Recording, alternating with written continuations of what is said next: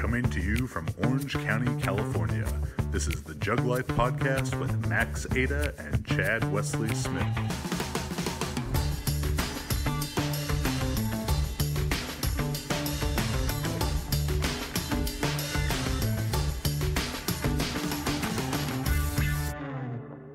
Hey everybody, what is up? Chad Wesley Smith here. Another episode of the Jug Life Podcast. I'm joined as always, pretty much always, by the Miracle Man Max Montana. How you doing, buddy? Yeah, I'm doing well. How you guys? And our guest today, USAPL 57 kilo national champion, Grand Prix real champion, super total queen, Meghan Scanlon. Meg, how you doing? Good. How are you? Good, good. So, uh, you know, we'll we'll obviously talk about your fantastic Arnold performance plenty here, but uh, before we get into all that, let's get to know the woman behind the abs. You know, not just the lifting, but uh, you know, where where do you live? Where do you train? All that good stuff. How old are you? Oh yeah. What? Um. So These aren't answers for me. These are for the people listening at home. So I live right outside of Boston.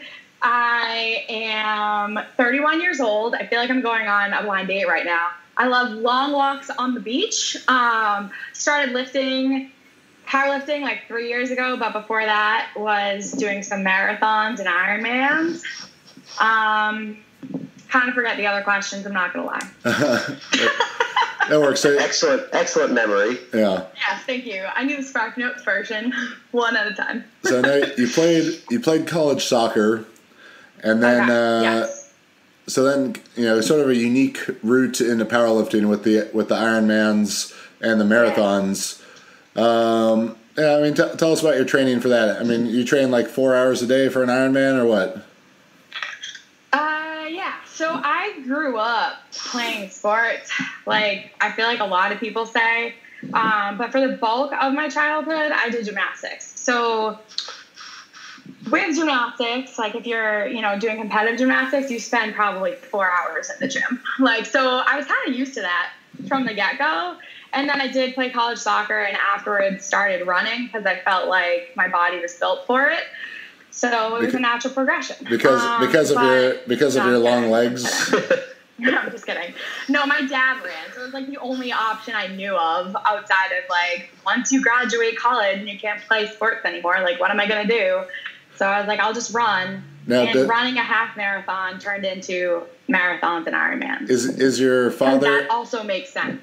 is your father the runner? Does he also have a body with Nope. with stumped legs and ar- arms so short he can't reach into his own pockets? he does not. Uh, he does have very short legs, but he's built like a runner. Um, he is the exact opposite body type of me. Yes. Yeah, you're, you're kind of built more like a running back than a than a runner. Yeah. But, uh, so built for distance. so do you think that that your your training history, particularly the the triathlons and marathons, you know, built up this kind of great work capacity for you to uh, to do all the hard training you do now?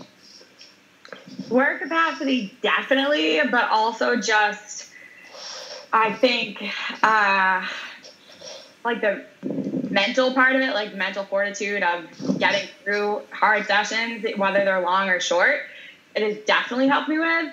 And then it also led me to start lifting with a lot of volume, which I think helped me build like a really good base of strength when I started initially. I didn't just jump like right into heavy weights. I did an insane amount of volume, probably too much volume, but it felt natural. Meg posted. Meg. Meg posted on her Instagram story a few, maybe like a month ago, about her resting heart rate, All right. and I was like absolutely floored to see it. Barely alive, right? Yeah, barely alive. Uh, I don't think there's. I can't imagine another person that would have a resting heart rate that low and a triple body weight squat. What what was it? Forty three. Yeah, and that was like I laid down and it was 43. It wasn't like in the middle of the night, you know. So I have no idea what it is in the middle of the night. but probably very low. I'm gonna live forever, you know.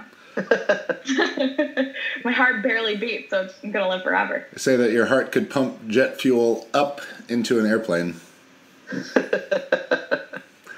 yeah. So, so what what spurred the transition from uh, endurance athlete to power lifter? Yeah. Uh, there wasn't like one specific thing. I started training out of a gym that had a lot of lifters in it, so I was kind of my first like, oh shoot, I can compete in something. I can train for something other than running or triathlons. Um, ironically, I didn't really get into it until afterwards, and it was because I started lifting heavier and was like, oh, this is cool to get stronger. Slash, I feel like I might be better at this. Um, and I ended up doing both for like a year, year and a half, but I hurt my hip running and I couldn't run anymore, essentially, but I could still squat and bench. So then I kind of transitioned to just powerlifting after that. And that was just three three years ago. Uh, that was probably like that was actually right before about two years ago, I think. Yeah, that was two years ago. Two years ago. Wow. Yeah, yeah, two years ago. So you started powerlifting two years ago. Well, specifically powerlifting. Okay. Before that, I was running marathons and powerlifting for a year. Okay. When, the first time you kind of went heavy on the squat or bench press, how much did you lift? Well, the first time I like in the gym. All right, so I'm not saying you know I was getting any white lights here. That's not the USAPL probably, but I my squat was maybe 200 and my bench was like 165. I probably could have squatted heavier, but was a little like nervous. Like I remember putting two plates on the bar for the first time, being like, "Yeah, I'm the strongest person alive." Um, but when I competed in my first meet, I squatted like 330. And So there was a quick progression there. Yeah. but you were quite a bit. Yeah. You were like a seventy-two kilo class lifter then, right? Yeah. I waited in in my sweatsuit. That was the meet I waited in my sweatsuit, yes, naturally. How I didn't know that wasn't weird, Do you remember? yeah. Do you remember how much you weighed? Oh, no. But- Probably like 150. Yeah, I, I, you were in the seventy-two kilo class though, and not not. oh, not it was definitely yeah. 72, yeah. Yeah. and not just because of the sweatsuit, right? Oh, no, Yeah. definitely not. The, it was a felt a felt sweatsuit and it was wet. So I had, you know, I packed my pockets with some change. Yeah, like, Miss, you only weigh 63, 63.2 kilos here. Uh, you know, you don't have to wear that sweatsuit. But, uh, all right, so, you know, I, we first became aware of you at, uh, like, Orlando Nationals. And, uh, know, you, you set that, that big squat there and, and made your first 500 Wilks, I believe. And we're in that super competitive 63 kilo session. And so that was what September, October 2017. And then fast forward four or five months to the Arnold, and I had seen you, you know, posting some weightlifting videos, and and uh, Phil Andrews, the the CEO of USA Weightlifting, had actually come to me for suggestions of powerlifters who I thought could be good at weightlifting, and you were one of the names that I that I gave him um, you know, along with several several others. But I was like, well, this girl is great at squatting, and she has a stumpy body. So, I mean that in the most What a compliment. in the most A runner- a complimentary runner's way. body. I always want, yeah, run Yeah. body. She looks like she'd be a terrible runner, so she must be good at weightlifting.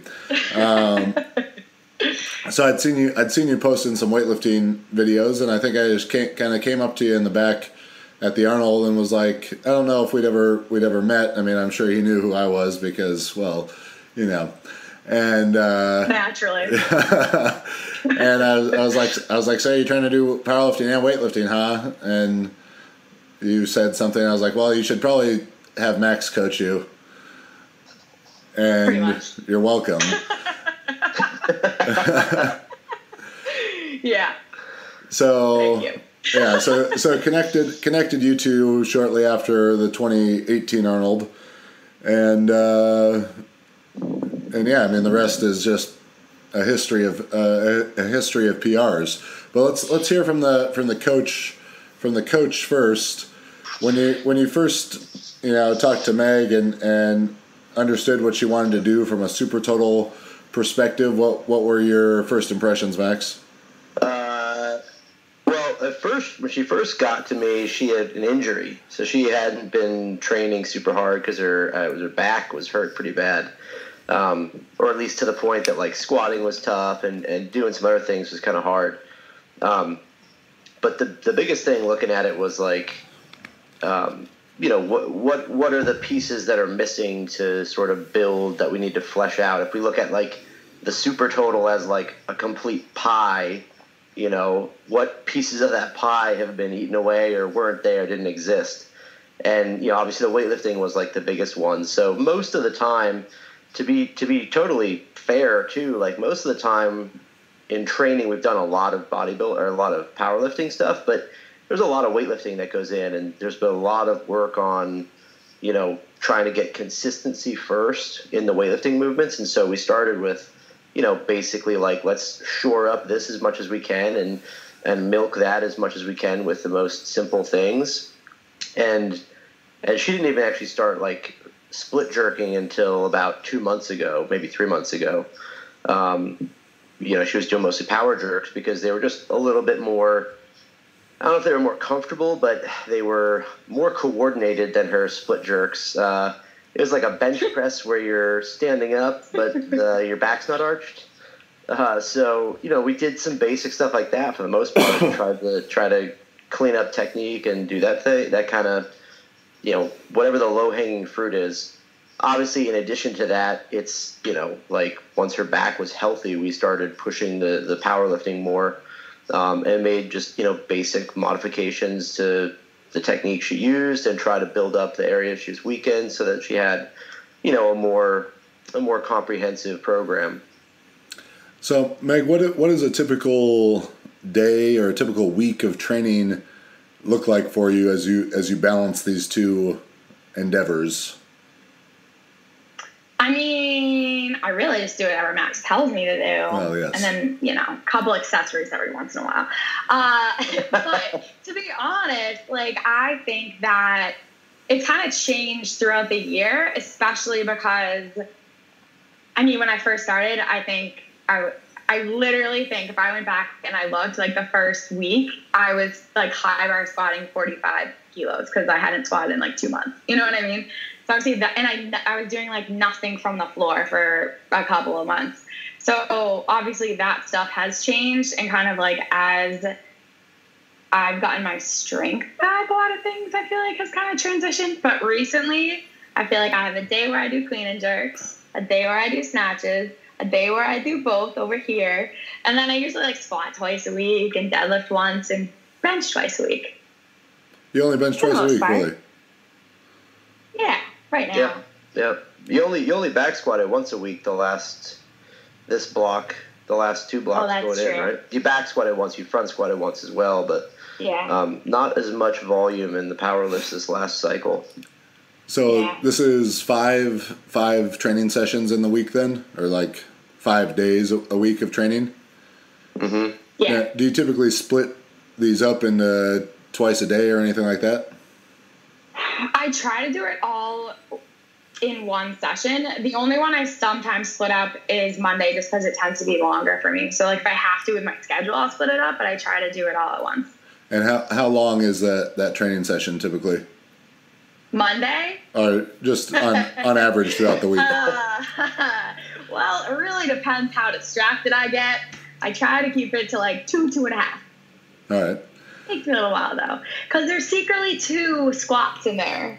Mm. Yeah, okay. That's and tricky. that, like, I get through one, I'm like, yeah, and then I'm like, oh, so Yeah, I need a not, little break, you know, like a snack or something.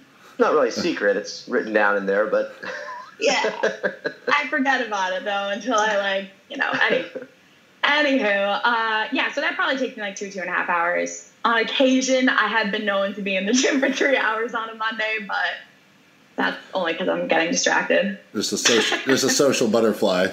Yes. So you've done, you've had like two real super total experiences. Let's say you did the five bar showdown uh, last summer, and that was Mhm. that was weightlifting in the morning, powerlifting in the afternoon.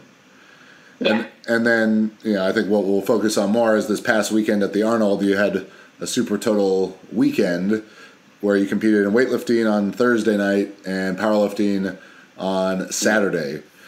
So talking about you know putting those whether it's in the same day or or in the same weekend, how much more taxing does that feel to you than just doing a powerlifting meet?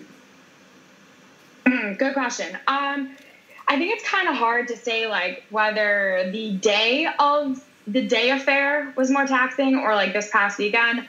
Only because when I did the super total in the summer, I also did a powerlifting. I cut down to 57 for the first time the week before. Uh, So that was really when I thought Max might be like, I'm done with you. So that, that was oh yeah I, I remember Uh, that. So that was seven, that was within seven days. You did two powerlifting meets and Yeah, and a weightlifting right. meet. It was really poor planning. Like I'm not gonna lie, but it was the only meet that was like somewhere close to me that I could do in my schedule. I mean, it was my poor planning because I waited until last minute to try to qualify as a 57 for nationals, essentially. Um, but the day was a long day, but I think it was also long because I had just competed in meet the weekend before. Mhm. The weekend wasn't like didn't feel too taxing having like a weightlifting meet and then the powerlifting meet a couple days later. I think in general the Arnold is a very exhausting weekend just with like the amount of people that are there. Yeah, it's like a like a sensory overload though. Yeah, whole time. a lot of stimuli. Yeah. Yeah. So I think the weekend of the Arnold is more exhausting, but not necessarily from the two meets. Yeah. The uh, so you, you mentioned you know you did your first meet in the seventy two kilo class. Now Mm-hmm. you compete you know primarily fifty seven kilos for powerlifting, where where you'll represent uh, at at the world championships. Fifty nine kilos for weightlifting, and anyone who looks at you uh, realizes that you're you're shredded. You have a lot of muscles that don't have very much fat around them. Uh, what, what are you I got a lot of doing? Yeah, what are you doing from a from a diet standpoint? Well, that's definitely changed from when I was 72. Uh, I think part of it was too, I was like trans- transitioning from all of this endurance activity to lifting, which, yeah, I was doing a lot of volume lifting, but you're still not burning the same amount of calories. Um, I don't eat everything that I want anymore. Did you did you gain a bunch of did you gain a bunch of weight right at the start of that time, going from endurance to to powerlifting, or Probably like 10 pounds. yeah, you were like you were like I heard that you're supposed to eat donuts with all your deadlifts and Right. stuff like that, and then I thought that if I want, I had to be successful, I just had to eat donuts. I told myself the same thing for the last 30, 30 years. Unfortunately, it didn't work out for me. um, but yeah, I'm definitely much more careful with my nutrition now. But I think the other thing is, although it's not like my favorite thing to do per se, I also feel a lot better when I'm lifting when I'm careful with my nutrition and like more 60, 61 kilos than 70. Which is a big difference because I'm 5'2. Yeah. Do you feel like there's? Do you feel like doing? Because you did powerlifting basically entirely by itself for a little bit of time. Do you feel like the energy demands from a weightlifting style workout to a powerlifting style workout, like how different is that for you? And I know a lot of times those workouts are combined. You're snatching before you squat and stuff, but but you know what are you what are your perception or maybe even advice you give somebody from a different like the different perspective of you know how do you fuel yourself for those types of workouts Um, I mean, it kind of depends. Like, if if it's a longer workout or a shorter workout, and I think sometimes it's hard to differentiate. Like, if you do a bench workout, you're not actually using that much energy. Like, you don't need to go crazy and carb up for your bench workout, especially if you're, you know, a smaller female. Typically, not benching as much um, versus like my Monday workout when I'm clean and jerking and squatting twice um, and doing some accessories as well. And I'm in the gym for a while and I'm using a lot of energy. But like for me, doing my weightlifting workouts, I don't feel like they are as taxing as when I squat and deadlift right now, just because I'm very much limited by my technique rather than my strength. It's like You the, know what I mean? the weightlifting. Like, the weightlifting workouts are more like, like the weightlifting workouts are more a a mind exercise, and the powerlifting is a body exercise. Yes. I'm like really hoping there's a day that they're a mind exercise and also a body exercise in So- the future. I know we all have goals to hit, whether it's eating healthier or exercising more, and sometimes it can be hard to achieve all these goals while struggling with other aspects of life. There's an app that I highly recommend to help you hit those goals a bit easier. It's called Blinkist. Blinkist is the only app that takes the best key takeaways, the need to know information from thousands of nonfiction books, and condenses them down into just 15 minutes so you can read or listen to them. Blinkist is made for busy people like you who want to get the main points of books quickly without reading the entire book. With the audio feature, Blinkist makes it easy to finish four books a day just while you're on the go. 8 million people use Blinkist right now, and it has a massive and growing library for self help, business, health to history books. I like Blinkist because just while I'm cooking breakfast or something, I can get 15 minutes quick information in. Uh, you know, maybe I'm just driving around running errands, and so it's so easy to enhance your day, enhance your knowledge in short bursts throughout the day. I've read uh, Seven Habits of Highly Effective People on there, one of my favorites. They got tons of health and nutrition books like Sleep Revolution on there. So, right now, for a limited time, Blinkist has a special offer for uh, our Jug Life audience. Go to Blinkist.com slash Juglife to start your seven-day free trial. That's a Blinkist, B-L-I-N-K-I-S-T, Blinkist.com slash Juglife to start your seven-day free trial. Blinkist.com slash Juglife. So we had a just a, a hugely successful uh, training cycle this this past one. You know, every every week I think you know Marissa and I were seeing their videos and sending each other the links back and forth. Like, holy shit! Did you see what Meg did? Did you see what Meg did? So, uh, you know, coach and and athlete. What what do you think? And uh, you know, not that the training cycle before nationals wasn't great too, but but it just seems like you got so much great momentum going now. What what would you attribute that to? From my perspective, I think the biggest thing is just uh, that the training was was adjusted. You know, over the course of the last, you know, working with her the last year, it's been adjusted more and more to what works for her. Um, we keep dialing in the volume and the and the training itself a little bit better each time, the right exercises, um, and then also like something you know writing program for for meg is a little bit different than than writing like just a basic program where you know one of one of the big aspects of writing something for a particular person is that as time goes on you learn a little bit more about how they adapt to the the, the volume how they adapt to things. So you know you make these adjustments where you know uh, uh, she might go four or five weeks before a deload or there's a different type of you know a little bit more loading. Um, we stay in certain ranges longer just because you know that from experience you're getting better results from these places where you know if you had if you had to just explain a program to somebody or create a generic program it might not have those sort of intricacies to it. So i think that's the big thing in my, from my perspective.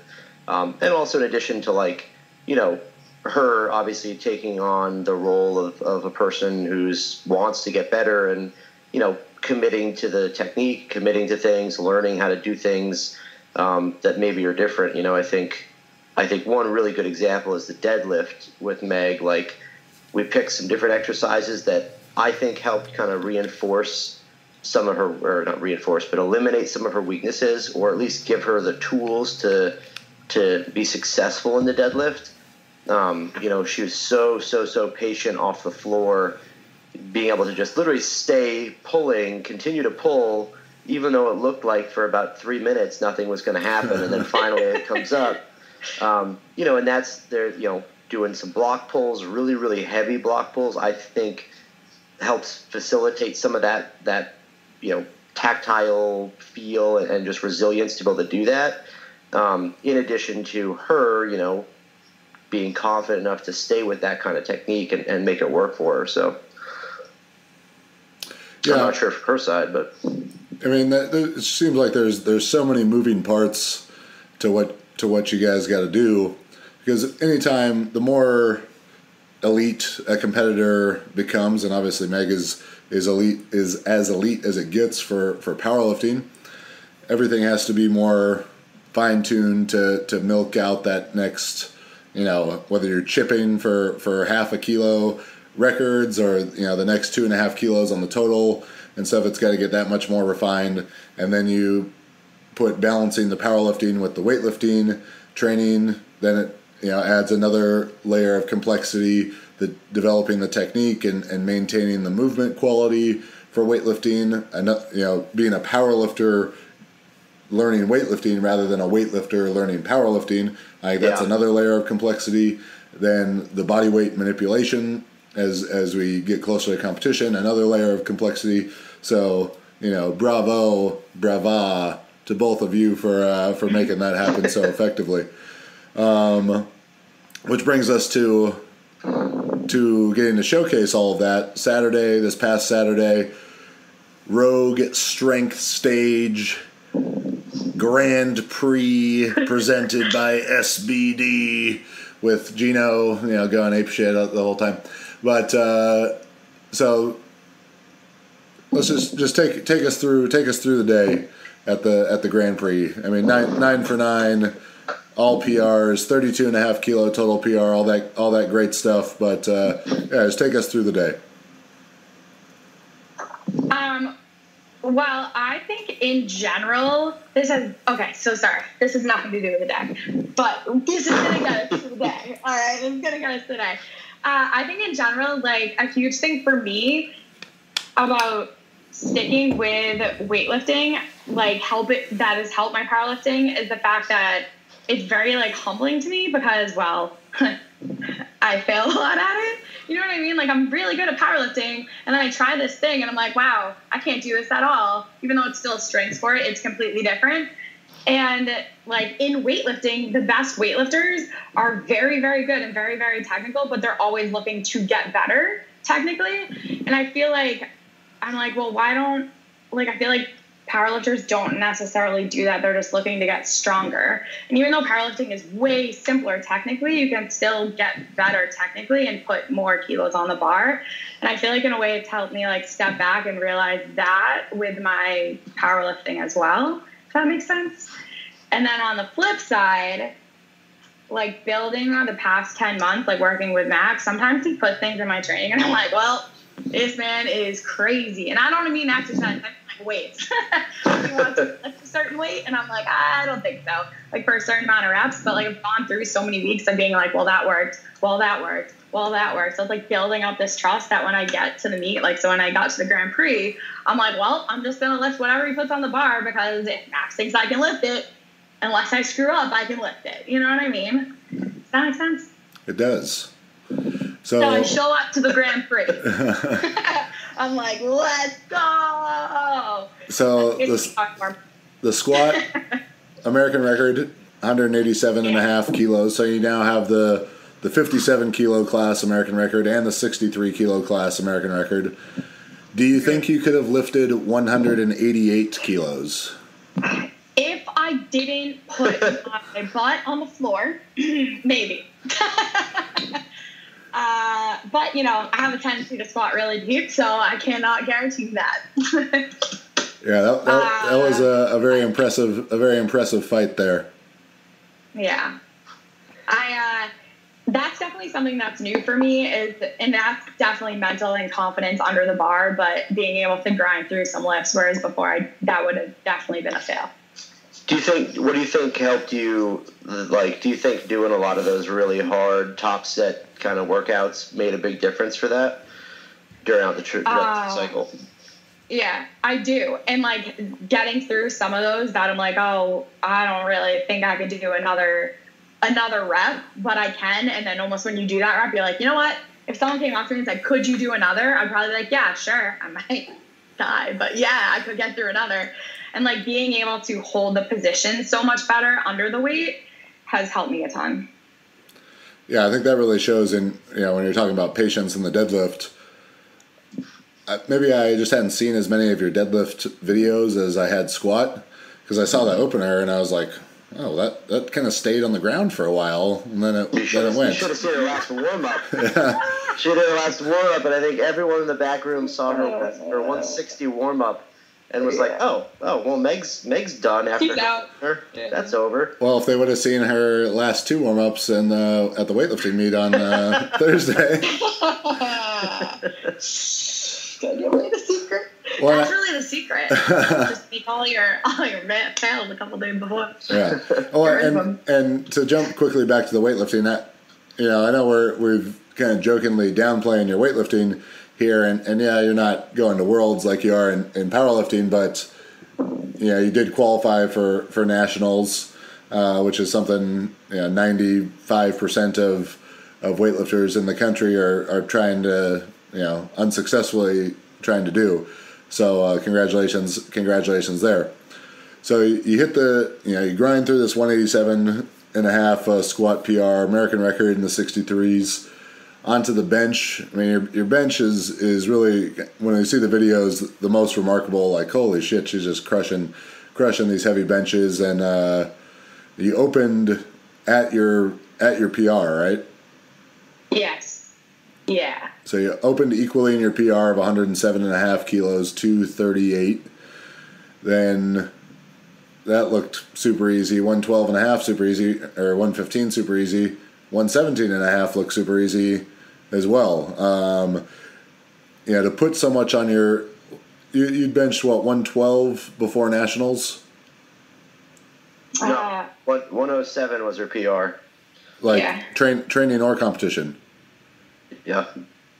Uh, you know, I think you might have benched 109 Yeah, it was- for nationals. before nationals, yeah, Yeah. maybe.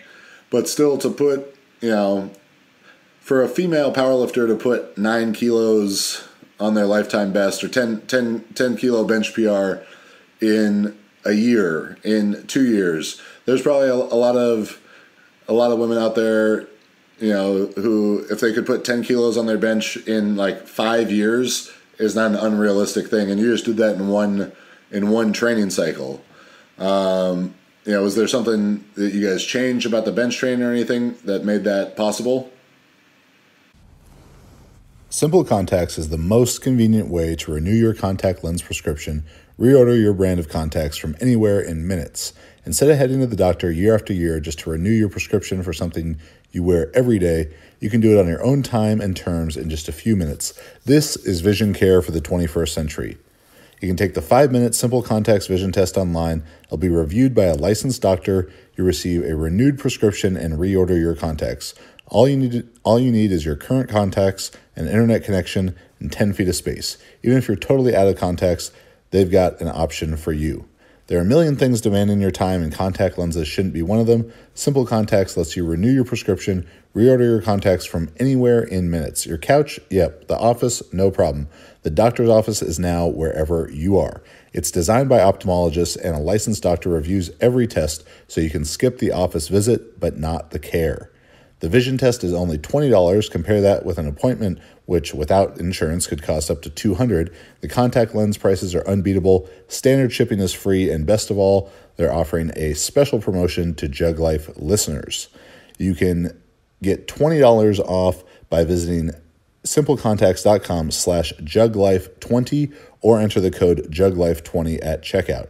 That's $20 off your contacts at simplecontacts.com slash juglife20 or enter code juglife20 at checkout. Make sure, remember, this is not a replacement for your periodic full eye health exam, but if you are in need of convenience, get $20 off your contacts at simplecontacts.com slash juglife20 or enter code juglife20 at checkout.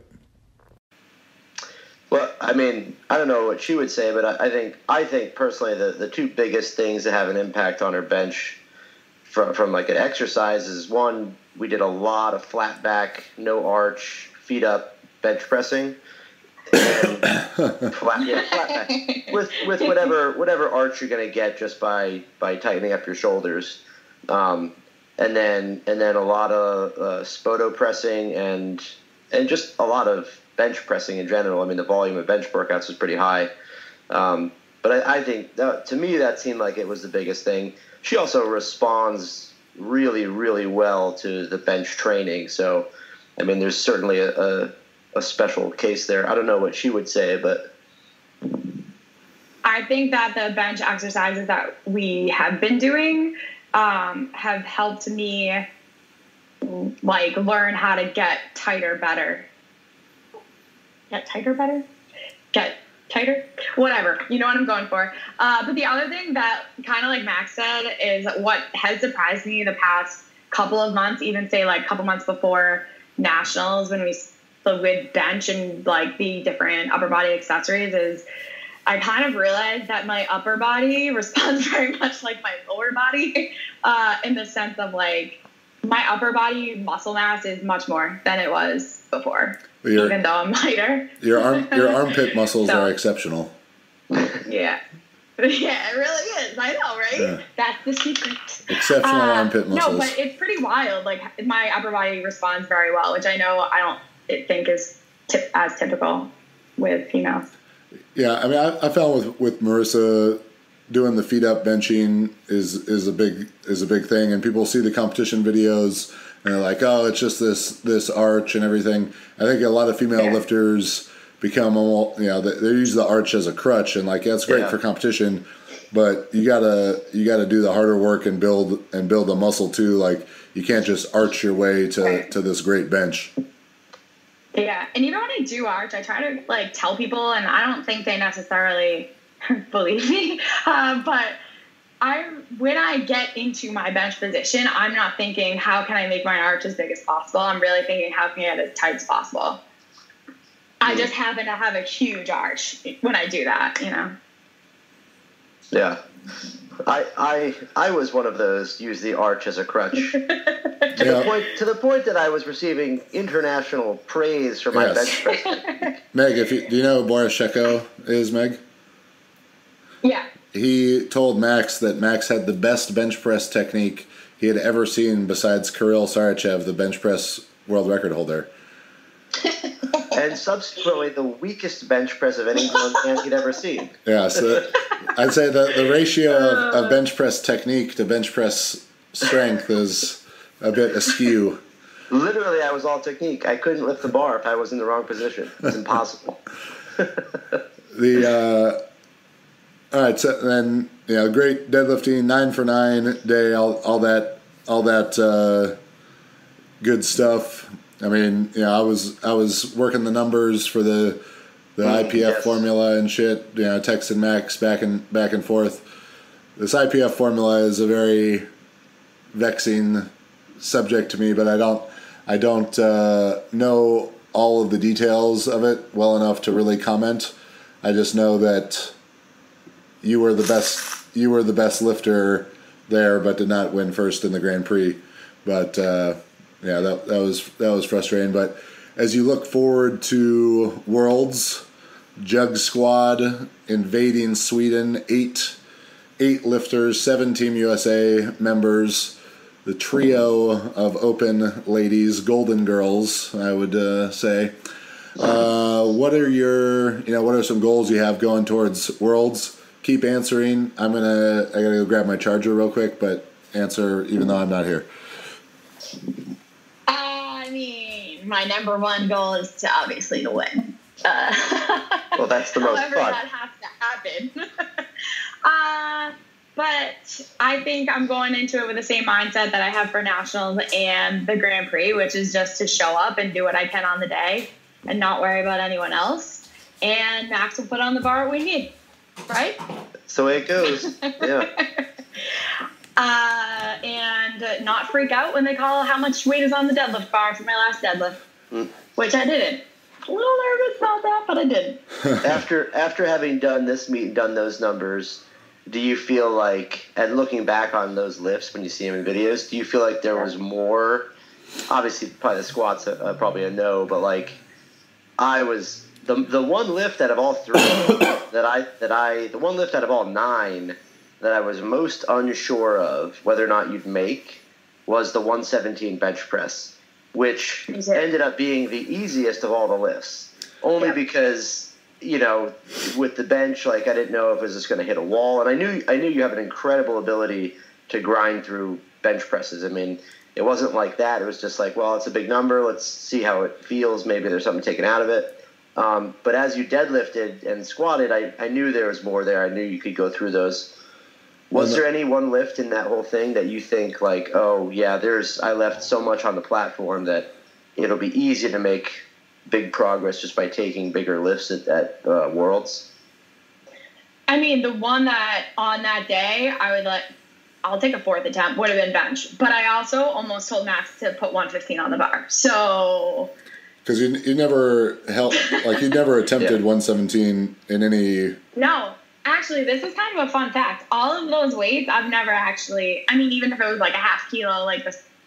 I did 187 in the gym, so it was like half kilo more, you know. But like I'd never done any of those weights before, which like is kind of a cool thing. That's never happened to me. that's that's the that's the way it's supposed to be you got to do it Yeah. most when it when it actually counts not leaving them in the Yeah, gym I know. It can't be a mental case. yeah So it was like a big, like, you know, I'm Yeah. growing up. Stepping stone, you know? Yeah. Well, I'm, I'm very much I'm very much looking forward to Sweden. I'm looking forward to to seeing your your progress as we as we move towards that. Hopefully, we get a little training camp here in Southern California uh, leading up to that. Um, yeah, Meg, where can people uh, follow you on social media and all that stuff? Mostly I'm on Instagram at MegScanLift. Very clever. So that's Very clever. M-E- nice and simple. M E G S C A N L I F T. We'll try and put it on the screen or something like that. Um, you know, people living in the greater Boston area, if they need a personal trainer, they could hit you up for that too, huh? Holla, at your girl. And, and you do some you Yeah, do some online. There's actually, I think that that was actually weird. Please don't holler at your girl. But uh, there's actually a ton of powerlifters out here that it's fun to get together. So if there, anyone is in the Boston area, holler at me in a non creepy way, Well, and I'll respond. I hope they go for more of the creepy way of hollering. Those are that's more entertaining for me to hear about after the fact. there, Marissa, Marissa sent me a, a video in which a guy had made had like auto tune this this rap, and all the lyrics were uh, like DMs sent by like Indian guys to to girls. It, I gotta find it again. It was fucking incredible. It was absolutely that incredible. awesome. Uh, Max, where can they follow you, bud? You can find me uh, Instagram, max underscore Aita, on Facebook, or email me at maxjtsstrength.com. All right. If you're interested in uh, online coaching, powerlifting, weightlifting, super total, so you can aspire to be like like Meg, uh, power building, all that stuff. JTSstrength.com has all the info. We have options for every level. Um, we've got you know the the powerlifting AI coaching. If you you know follow hashtag ChadBot on Instagram, yeah, if you follow me or what you probably do if you're listening to this, you're seeing it in the story all the time. People turning their one rep max into five rep maxes. Uh, this summer we'll have that for we'll have weightlifting AI. Following that, we'll have super total AI. So be on the lookout for all of those. Get in on the beta pricing on them while you can. Um, yeah, follow, you know, subscribe to the podcast, subscribe to the YouTube, leave us a five star review. We always appreciate that. Miss Mrs. Scanlon, thank you for uh, for joining us. Congratulations again on the awesome lifting, and we'll talk to you soon. Thanks for having me. All right.